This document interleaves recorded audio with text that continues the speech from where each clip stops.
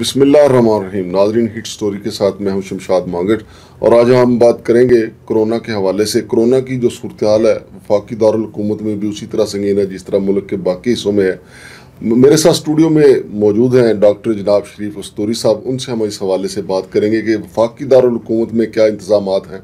جی doctor صاحب، یہ بتائیے گا کہ وفاقی دارالحکومت میں کرونا کی جو صورتحال ہے، اس وقت کتنے پیشنٹ جو ہیں وہ تمام ہاسپٹل میں موجود ہیں؟ مانگڑ صاحب، اسلام آباد ایسی جگہ ہے کیپٹل ہے، لوگ سمجھتے ہیں کہ یہاں ہیلتھ فیسلٹیز بہتر ہے اور ہے بھی باقی صوبوں کی نسبت۔ تو لوگ جو ہے ادھر ادھر سے بھی جو ہے بہت زیادہ رش کر جاتے ہیں اسلام آباد کی طرف۔ شکر ہے کہ ابھی تک کوئی اوور لوڈ نہیں ہے اسلام آباد کے ہسپتالوں میں، لیکن بیڈز بڑھتے جا رہے ہیں۔ چونکہ یہ جو لہر آئی ہے، یہ جان لیوا اور وینٹیلیٹر پر لوگ جلدی جا رہے ہیں۔ آکسیجن کی ضرورت زیادہ پڑ رہی ہے۔ اس لیے جو ہے وہ ہم کہتے تھے کہ گھر میں بیٹھ کر کرنٹائن کریں تو آپ محفوظ ہو جائیں گے ایسا نہیں ہے۔ اس لہر نے جو لوگوں کو اسپتال تک پہنچا دیا آکسیجن تک پہنچا دیا وینٹیلیٹر تک پہنچا دیا تو اس وقت اسلام آباد میں بھی کافی رش ہے اور ہسپتالوں میں کم از کم بیس پرسنٹ تیس پرسنٹ جو ہے ابھی بھی بیڈس خالی ہیں لیکن باقی بیڈس فل ہیں۔ نہیں ڈاکٹر صاحب ایک خبر آئی تھی چند روز پہلے کہ فاقی دارالحکومت کے جو مین ہاسپٹلز ہیں ان میں آکسیجن کی کمی ہونے کا کبھی امکان ہے۔ اور بلکہ انہوں نے تو یہاں تک کہا تھا کہ اٹھائیس گھنٹوں کا جو ہے وہ ذخیرہ رہ گیا آکسیجن کا۔ آپ کیا کہتے ہیں؟ آپ صحیح کہہ رہے ہیں کہ آکسیجن ایسا سپلائی ہے کہ جو کبھی کبھی شارٹ ہوتا ہے۔ نارمل دنوں میں بھی شارٹ ہو جاتا تھا لیکن ان دنوں میں تو چونکہ آکسیجن کی یوز بہت زیادہ ہے استعمال بہت زیادہ ہے تو ہفتہ دس دن سٹاک ہر ہاسپٹل رکھتا ہے اپنے پاس آکسیجن کی لیکن یہ جو میں گزارش کروں گا کہ آکسیجن کی جو پلانٹ ہے جو جنریٹ کرنے کا جو سسٹم ہے وہ پاکستان میں اتنا ہونا چاہیے کہ آپ پورے پاکستان کے ہسپتالوں کو وافر انداز میں پہنچا سکیں۔ ہمارے پاس محدود وسائل ہیں جو آکسیجن کو سپلائی کر سکتے ہیں، تو وہ جب محدود وسائل ہو تو آپ کو سپلائی بھی محدود ہوگا۔ اس کی وجہ سے پھر مسائل پیدا ہو جاتے ہیں۔ اچھا کرونا کے مریضہ کی وجہ سے ڈاکٹر صاحب ایسے بھی تو صورتحال ہوگی نا کہ جو پولی کلینک یا پیمز میں جو پہلے مریض دوسرے امراض کی جو زیادہ تھے۔ اب ان کی نسبت کرونا کے مریضوں کو چونکہ زیادہ پریفر کیا جا رہا ہے، تو دیگر امراض کے جو لوگ ہیں، وہ تو متاثر نہیں ہوئے۔ یقیناً اس کرونا کی وجہ سے جہاں ملکی نظام درہم برہم ہوا ہے، تو وہاں ہاسپٹلوں کا نظام بھی درہم برہم ہوا ہے۔ لیکن جو کرونک مریض ہیں، جو ایکیوٹ مریض ہیں، یا جو سیریس مریض ہیں، ان کو تو کیئر دیا جا رہا ہے۔ لیکن جو نارمل جیسے سرجری ہونی ہے اور اگر کوئی نارمل کوئی مریض ہے تو اس کے لیے اتنا خیال نہیں رکھا جاتا ہے چونکہ کرونا زیادہ شدید ہے۔ لیکن ہاسپٹل جب تیسرے درجے کا ٹرشری کیئر ہاسپٹل ہو تو پھر وہاں کوئی مریض نظر انداز نہیں ہو سکتا ہے۔ اگر کوئی مریض سیریس ہے ڈاکٹر سمجھتا ہے کہ اس کے کمپلیکیشن ہیں مسائل ہیں تو پھر اس کو ایڈمٹ کیا جاتا ہے اور اس کو سرجری بھی کیا جاتا ہے۔ ایمرجنسی سرجری جسے کہتے ہیں۔ جی جی۔ تو یہ کوئی مسئلہ نہیں۔ ہاں نارمل او پی ڈی متاثر ہوئی۔ جو نارمل جو لوگ آتے تھے وہ متاثر تھے۔ اچھا ڈاکٹر صاحب ابھی تک کرونا کی تین اقسام آئی ہیں۔ یہ تینوں اقسام کے حوالے سے ذرا ہمیں بتائیں گے کہ پہلی کیا تھی دوسری کیا ہے اب تیسری کیا ہے؟ ڈبلیو ایچ او نے تو دس اقسام بتایا ہے۔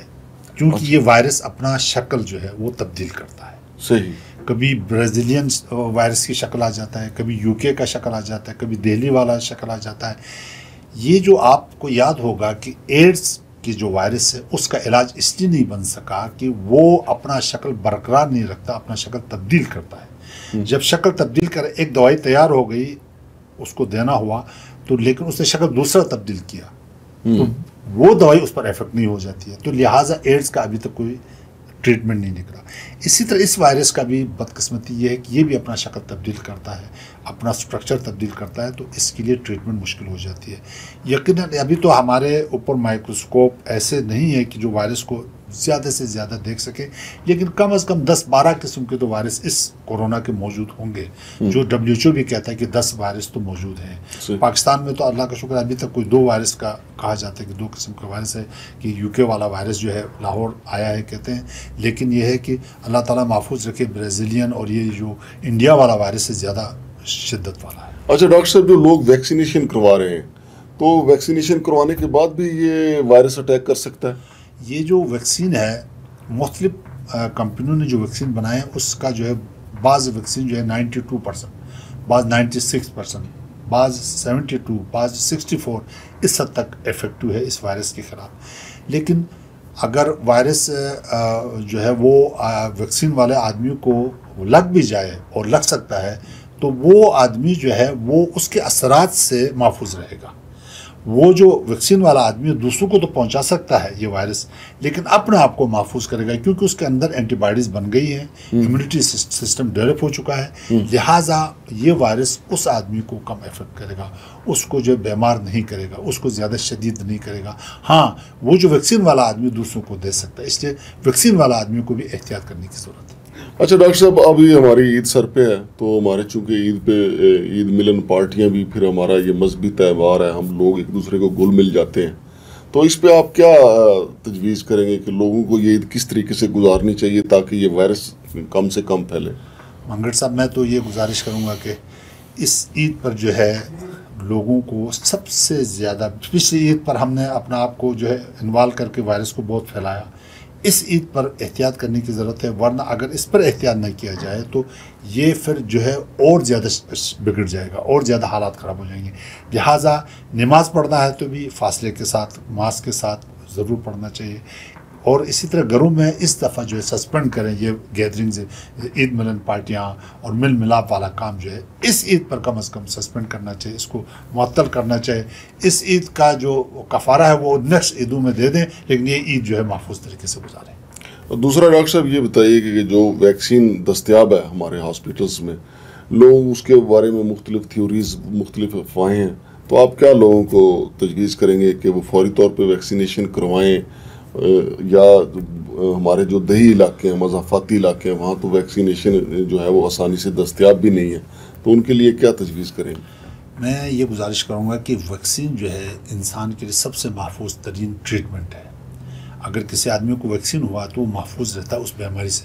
یورپ نے اپنے لوگوں کو مختلف بیماریوں سے بچاؤ کے لیے ویکسین کیا، جس کی وجہ سے ان کے ہاں بہت ساری بیماریاں نہیں آتی۔ جیسے ٹائیفائڈ وغیرہ ہے یہ ان لوگوں تک نزلہ زکام وغیرہ جو انفلوئنزا وغیرہ کے ویکسین ہوا ہے تو لوگ محفوظ ہیں۔ ہمارے یہاں جو ہے ویکسین کا رجحان نہیں ہے۔ ہم پولیو ڈراپس بھی نہیں پلاتے ہیں۔ کہتے ہیں کہ جی اس میں فیملی پلاننگ کی دوائی ڈالی ہوئی ہے۔ یہ اس طرح کی افواہوں کی زد میں ہے۔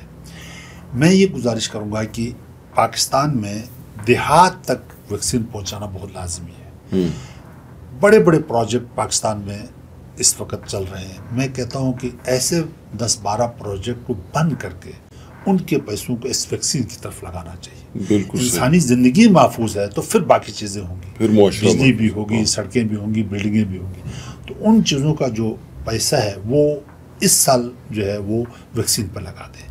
اور لوگوں کو جو ہے ویکسین دستیاب کریں ویکسین کرا دیں تاکہ آپ کی قوم جو ہے آپ کا ملک جو ہے محفوظ ہو سکے۔ بہت شکریہ ڈاکٹر صاحب۔ ناظرین ڈاکٹر شریف استوری صاحب بتا رہے تھے کہ کرونا کتنا مہلک ہے۔ ہمیں بڑے پروجیکٹس بند کر کے سب سے پہلے اپنے مضافاتی علاقوں کے جو شہری ہیں، جو دیہاتی ہیں، وہاں تک ویکسینیشن کا جو نظام ہے، وہاں تک لے جانا چاہیے تاکہ ہم اپنی قوم کو محفوظ بنا سکیں۔ شمشاد مانگٹ کو اس سوری سے اجازت دیجیے اللہ حافظ۔